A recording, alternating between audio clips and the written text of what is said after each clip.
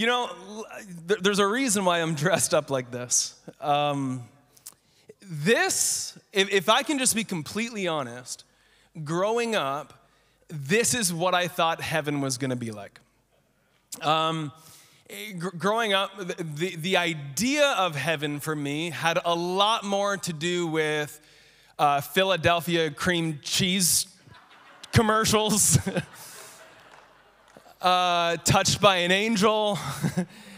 Uh, or different books that I read, right? I, I was being informed more from that stuff than I was from anything else. And if I can be completely honest, um, heaven seemed really boring. Like, like, like, just, just me being honest, not where I stand today, but like growing up as a kid, when I thought about heaven, I, I, I, was a little bit discouraged by it. I mean, the one cool thing was in my head, I thought that we had wings, and who doesn't want to fly? But like outside of that, every other piece of it just seemed a little bit weird to me. Uh, and, and apparently, we get to wear bathrobes. We somewhat change species and look like angels. That was, that was my viewpoint growing up. And and, and then there, there was one part that, that kind of really threw me, and that was that we would apparently be singing nonstop for all of eternity. And, now listen, I, I like singing as much as the next guy, but, but you know what it is? You know the song Amazing Grace? Great song. I love the song Amazing Grace, but there's that one line in there that when we've been there 10,000 years, bright shining as the sun, we've no less days to sing God's praise than when we first begun. And again, I like singing, but 10,000 years. Honestly, in my mind, I'm just like, I, I don't know if I want this heaven, right? Like, like it was after 30, 40 minutes, I'm good. I, I don't need to sing anymore, right? Like, but, but in, in growing up, the, the honest truth is I felt guilty. Um, I, I felt uh, like there was something wrong with me. Why was everybody else really interested in heaven? And yet I, I was almost put off by, by certain images. And, and, and what I've grown to learn is this that really there, there wasn't anything wrong with me. Now that's debatable, okay? But what was more wrong was my theology. What was wrong was that, again, I was taking my cues not from Scripture, but I was taking them from all these other sources, and it really messed with my head at a young age. Now, here's the good news today. You ready?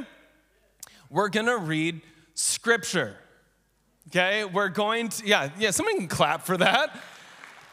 Today, what we're gonna do uh, is we are, I need to take this off. uh, today, what we're gonna do is um, in, in order to uh, learn today, in order to grow in all the right ways, here's, here's what I want you to do. I want you to try to wipe your imaginations clean for the moment.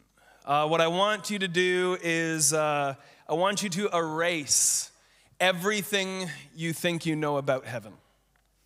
Uh, forget the Philadelphia cream cheese commercials. It is delicious, but horrible theology. Forget touched by an angel, forget me dressed up here uh, in this costume, forget all of that. Uh, today, we are a blank canvas.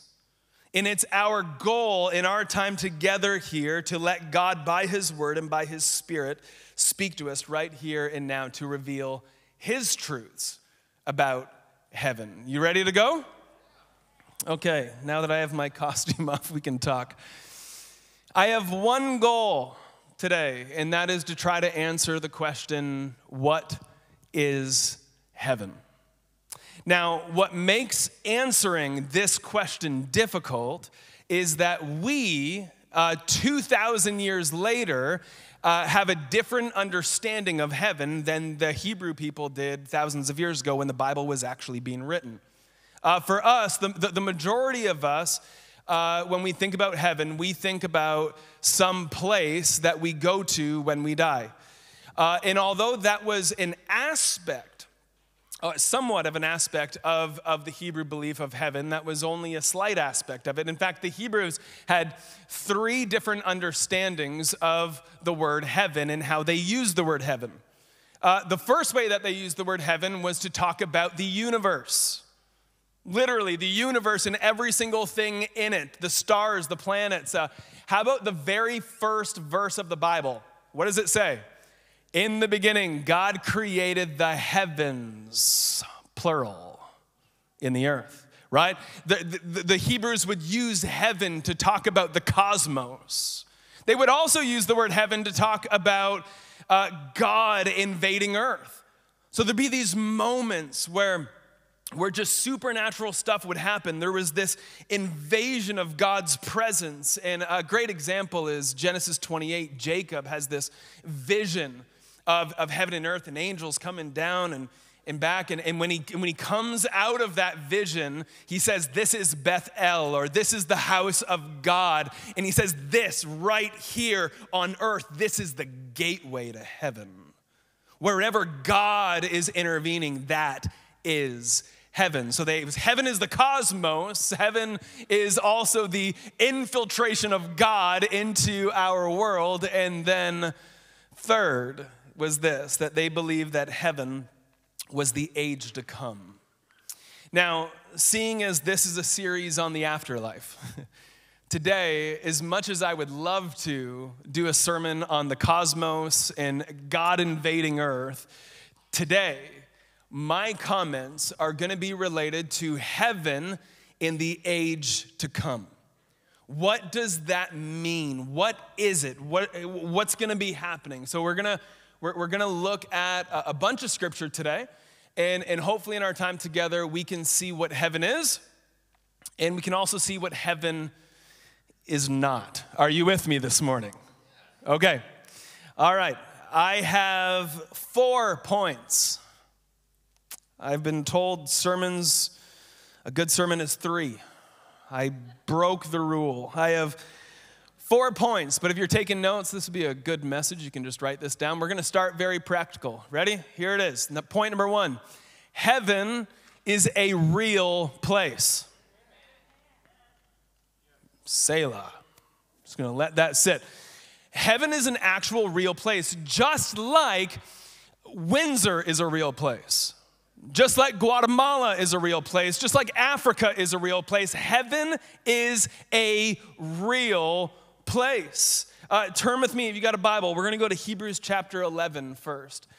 Uh, Hebrews 11, phenomenal chapter in the Bible. It really stands out unique. We, we call it the great faith chapter, and it's just filled with all these stories of men and women and, and all their, their great steps of faith. And I just want to read you verse 16. It says this, but they, so who's that again? The great men and women of faith we're looking for a better place, a heavenly homeland. That is why God is not ashamed to be called their God, for he has prepared, I love this, a city for them. Okay, uh, this right here, the, the scriptures use all sorts of different metaphors to describe heaven. Sometimes heaven is referenced as a party. Sometimes heaven is referenced as a country. Sometimes heaven is referenced as a, a, a, garden, a home. There's all these different images. Here, it's, it's called a city. And so someone's gonna ask the question okay, Pastor, so which one is it?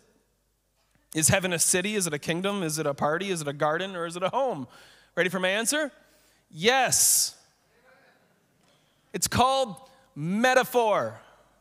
It's called metaphor. And metaphor, last week when I was talking about hell, uh, I said that wherever the scripture uses metaphor, it simply means that it cannot be described. So in hell's case, it's much worse, but in heaven's case, it's much better. But, but what we get in the scriptures are metaphors. We get images, glimpses at something that is, to be honest, really, really, really hard to describe. I mean, think about John. I honestly, just a, a good like challenge for you this week. Go home read the book of Revelation and, and count how many times John uses the word like. Just count them.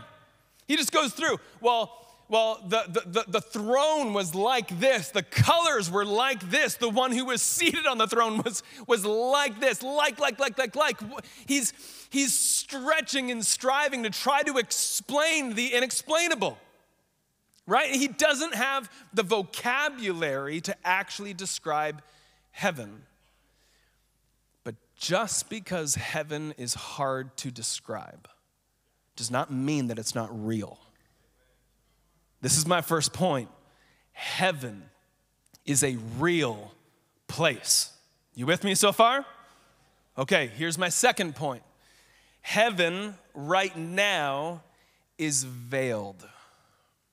It's veiled. Like nobody's gonna just stumble upon it. Um, I, I love this. On September 5th, 1977, NASA launched the Voyager 1 spacecraft. This spacecraft travels at 62,140 kilometers an hour. Okay, you get that? That's fast. 62,140 kilometers an hour. And it has been traveling at that speed since September 5th, 1977. And guess what? The Voyager 1 spacecraft is never gonna find heaven. It's not just gonna bump into the pearly gates all of a sudden. That's it's, it's, it's not how it works. See, what we need to understand is that heaven is veiled. There is a chasm between heaven and earth that is more than just sky and space. Look with me at Revelation chapter 4. Uh, John here is getting access into heaven. And it says this 4 verse 1. After this, I looked, and there before me was a door. Say, door there was a door standing open in heaven. And the voice I had first heard speaking to me like a trumpet said, Come up here, and I will show you what must take place after this. John gets access into heaven, but he only gets access through a door that God provided. Do you see that? It, John wasn't just stumbling about and he's like, oh man, there's heaven. No. John didn't find heaven. God found John and gave John access into heaven. That's very different. God provided a doorway in. There, there, there has to be on this side of eternity. Um, for any human being to get any access or image or glimpse of heaven, the only way that that works is by God to give access there. Why? Because right now, it's veiled. Heaven is a real place, but right now it is also a veiled place, which tees me up perfect for my third point, okay? Here's my third point. I, I, I hope that this makes you feel warm inside. Point number three heaven one day will be unveiled and come to earth. This is good news. Heaven, I'm going to say it, heaven one day will be unveiled and will come to earth. Now, um, for us Christians, if we're going to go off in our theology, this is probably the point. Because even though we can laugh about me dressed up here with some fake wings and a bathrobe, the reality is that there's probably several listening to me right now that your viewpoint is that somewhere upon death, you're gonna, you're gonna leave, you're gonna go up to heaven, and then you're gonna stay there. Right? And like, in fact, this is such the dominant viewpoint that if you Google image heaven, what are you gonna see? Clouds, golden gates, everything's up in the sky, and apparently that's where we spend eternity. The only problem with that is going to be the Bible. Okay? Uh, the Bible actually teaches something very different, both in the Old Testament and in the New Testament. And so, what I want to do is, I want to read for you from the Old Testament and from the New Testament, and we can see uh, some of the imagery here. Uh, let's go to Job chapter 19. If you're new to the Bible, you might think this is the book of Job, but it's actually Job. Job is the oldest writing that we have in the Bible. It's the oldest. Uh, the, the, the book of Job was written thousands of years ago. And here in Job, we actually see out of our scriptures the oldest writing of somebody speaking about death and the afterlife. And I want you to listen very carefully to what Job says. Job 19, we'll pick it up in verse 25. He says, I know that my Redeemer lives. Come on, somebody say amen. That's just good right there. And he says, and that in the end, he's saying, when it's all said and done, in the end, he, who's the he? God, the Redeemer, Lord, entered Jesus in there. He will stand on the, what's the word? Earth. And I love as he goes on, listen to this. And after my skin has been destroyed, yet in my flesh I will see God. I myself will see him with my own eyes, I and not another. How my heart yearns within me. Oh, this is so good. Job, thousands of years ago, gives us insight into the afterlife in heaven. And he says, In the end, when my skin is destroyed, okay, he's saying, when I'm dead. Interesting what he says right next. Yet in my flesh, I will see God. So he's saying two very seemingly contradictory things, right? He's saying, well, well, what, what's happening? He's saying, no, I'm going to die and then I'm going to resurrect. And he says, and on that day, when I resurrect in new flesh, he said, I'm going to see God face to face. Okay, this is important. Where? On earth. In the end, heaven comes to earth. I'll give you another passage, uh, Philippians 3:20. Uh, this is a favorite for us in the church, but he says this, but our citizenship, Paul says this to the church in Philippi, but our citizenship is in heaven and we eagerly await a Savior from there, the Lord Jesus Christ, who by the power that enables him to bring everything under his control will transform our lowly bodies so that they will be like his glorious body. Oh, I just have good scripture today. I just pray you're encouraged. Honestly, last week, can we just, okay, last week was rough. Okay, we, I need to hear some amens from our church, okay? Like Paul says, man, there's a day coming where when we're gonna get new, resurrected, glorified bodies just like Jesus. But see what he said here. Notice that Paul doesn't say our citizenship is in heaven and we eagerly await to go there. It's not what he said. He said our citizenship is in heaven and we're eagerly awaiting a Savior from there. You see the difference? Heaven is coming to earth. So let's recap really quick. Heaven is a real place. Real. Right now, heaven is veiled. In order to get any experience of heaven, it, you must be given access by God. And then point number three is this that heaven one day will be unveiled for all eyes to see. Nothing will be hidden anymore, and heaven will come to earth. Which leads me into my fourth point. And I'll take maybe a little bit more time here. And here it is Heaven is the absence of everything bad in the presence of everything good.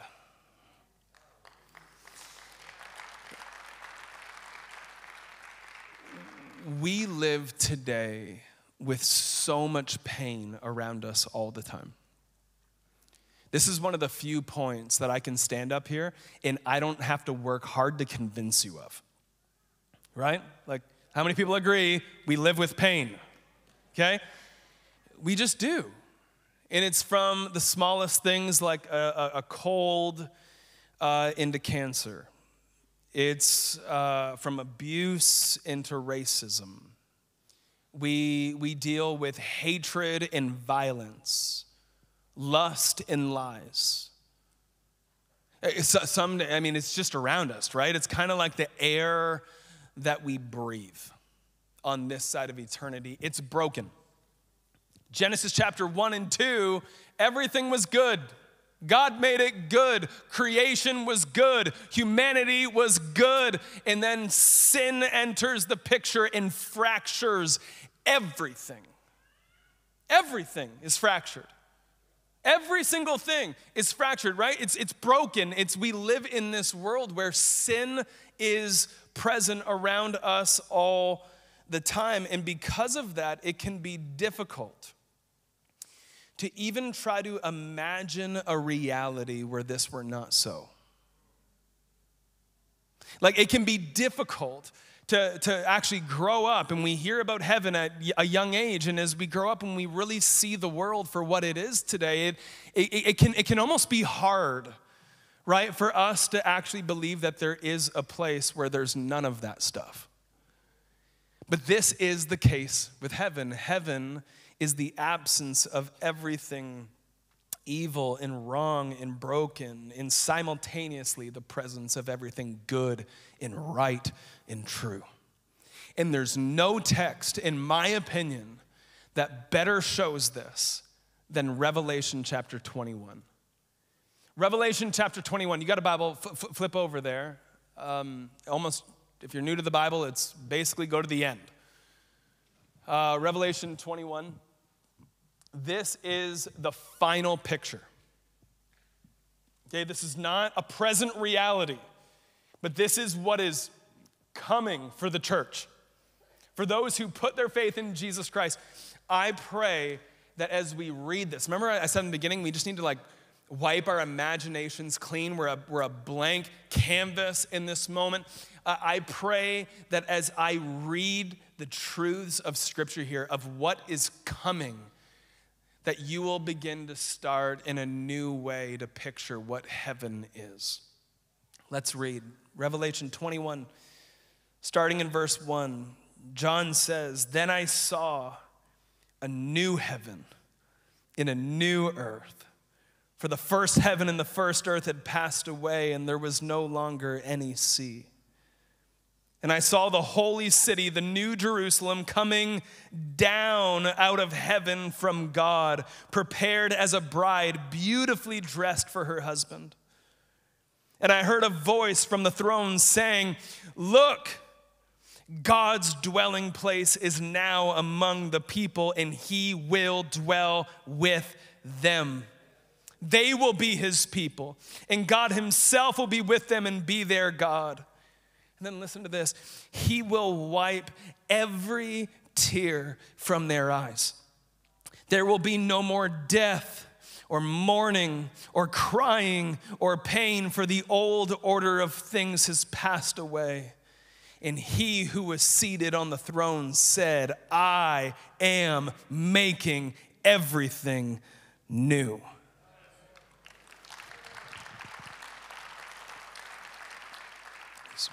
Beautiful passage. Worship team, come on up. We're going to worship in a moment. The final picture is not us going up. The final picture is the bride of Christ, the church coming down to be united with Jesus, our groom, as he makes everything new. Come on, let me hear you say the word new. New. In the Greek language, in the Greek language, there's two different words for new. This is very important this morning. There's two different words. Uh, and I'm saying Greek because that's what we have Revelation written in. Neos and kainos. Neos means new in origin, something just completely new. Then there's kainos, which is new in quality, something that, that that's maybe broken, but but it's going to get fixed. Something that along the line is going to get refurbished and made better. Here, John very carefully says, He who is seated on the throne said, I'm making everything kainos. I'm making everything new in quality. So, the, the, the, picture think about a blacksmith. A blacksmith who takes an iron and he puts it in the fire, not to destroy the iron.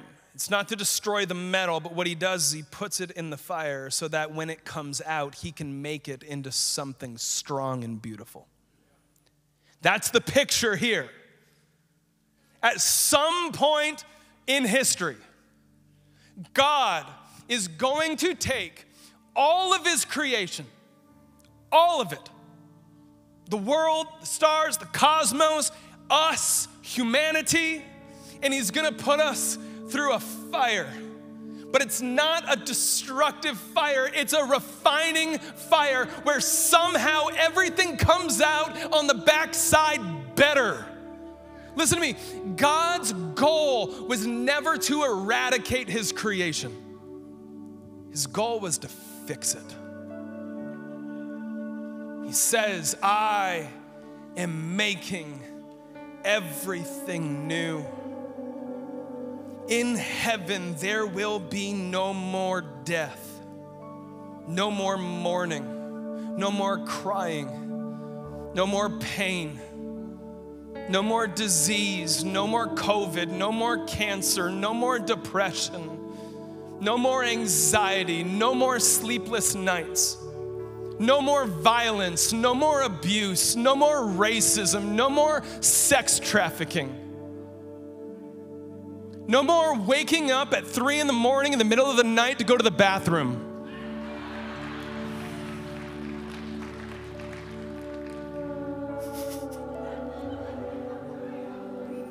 And somebody said, Amen. the younger part of our church is like, What? I don't, I don't understand.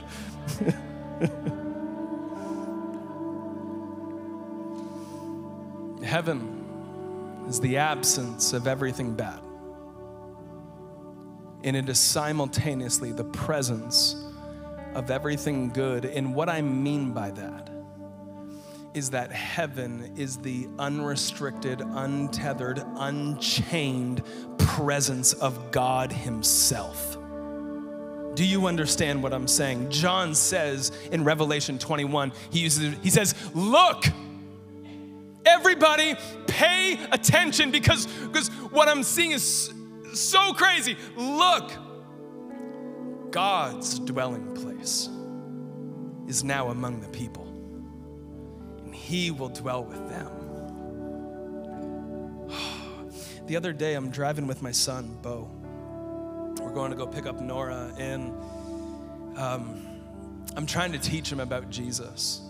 And at a very young age, you know, we, we tell our kids, and it's a true statement, right? Like, where does God live? Well, God lives in my heart.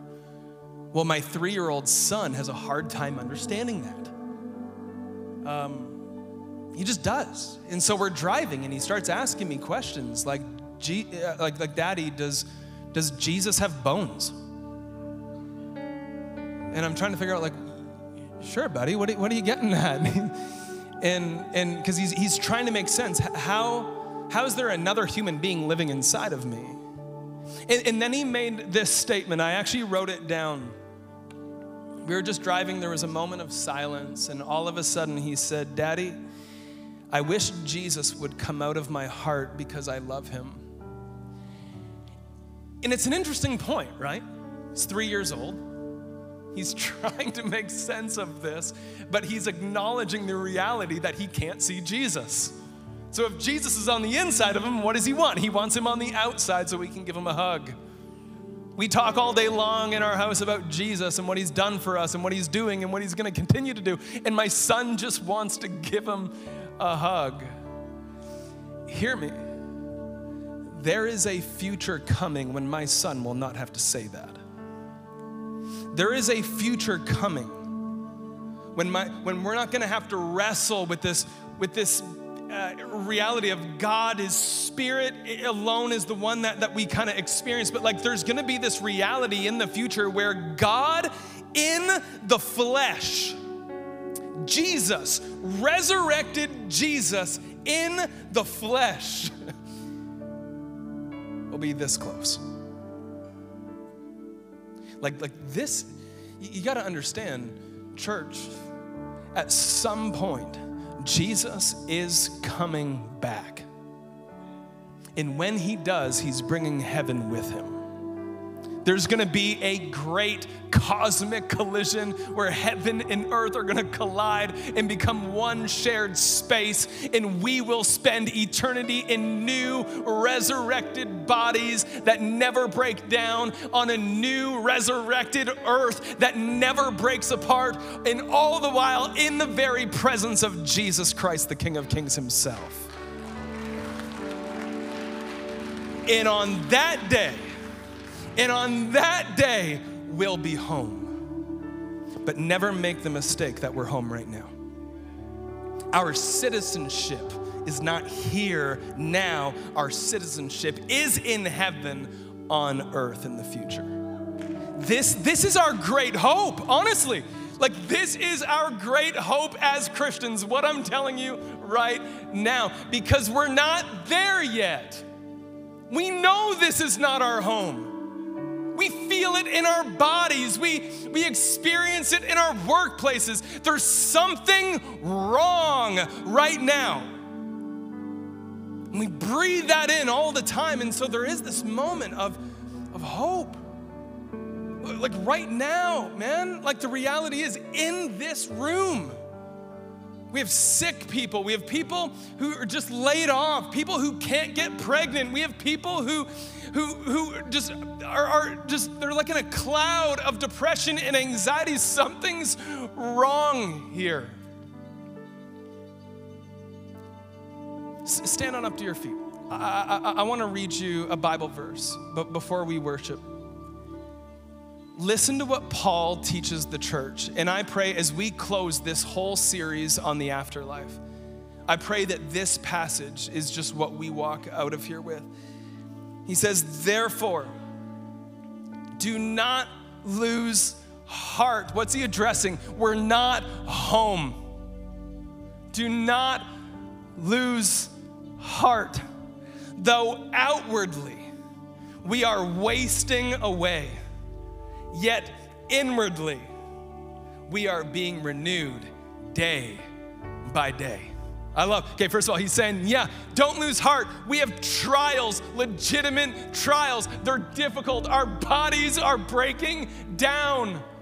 He says, don't lose heart because when that's happening, what, what you don't see is the unseen reality that God is renewing us the very essence of who we are day by day. And then he goes on to say this for our light and momentary troubles are achieving for us an eternal glory that far outweighs them all. What Paul's saying is there is an eternal glory coming when heaven meets earth in the presence of Jesus that is going to somehow make every struggle on this side of eternity seem small. Man, we're in this moment right now and it seems big. It seems big, it seems overwhelming, and yet this is true that there is an eternal glory that is so much bigger and better and stronger than we can ever understand. And then I love this. He says, So we, church, we fix our eyes not on what is seen, but on what is unseen. Since what is seen is temporary, but what is unseen is eternal. Paul says, Church, keep your eyes not on what is temporary, but on what is eternal. Why? Because we know how the story ends.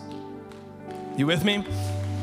We know how the story ends. In the end, Jesus reigns victorious. In the end, we receive new bodies. In the end, man, new heaven, new earth, same space. In the end, we get to spend eternity with God.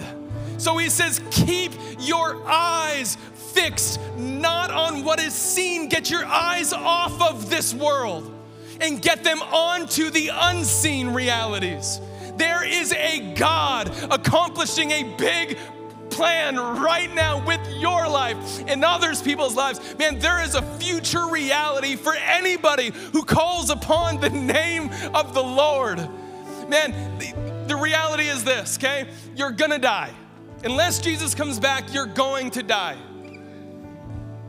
Upon that moment, upon that moment, there, we will face judgment before God.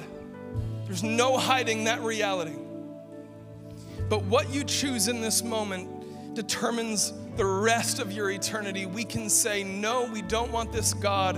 And that is a scary reality that God will give you what you want. He will give you what you want. If you want separation from Him, He will give it to you. Oh, but there's a truth here that for those who want God now, you get God then. You understand? We say yes to Jesus, man, and we get heaven on earth. Church, our God is so glorious. We've got metaphors and images. What makes hell hell is not fire and flames, it's the absence of the presence of Jesus. What makes heaven heaven is not mansions and gold streets, it's the presence of Jesus. You see, Jesus is the factor of what makes hell hell and heaven heaven. Parkwood, I just want Jesus.